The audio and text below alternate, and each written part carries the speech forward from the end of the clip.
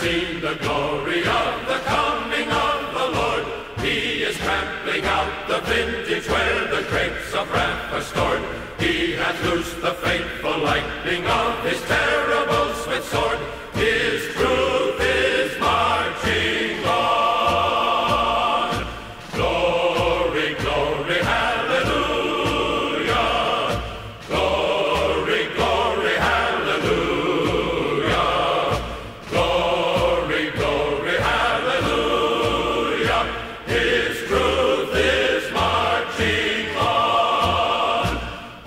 have seen him in the watchfires of a hundred circling camps.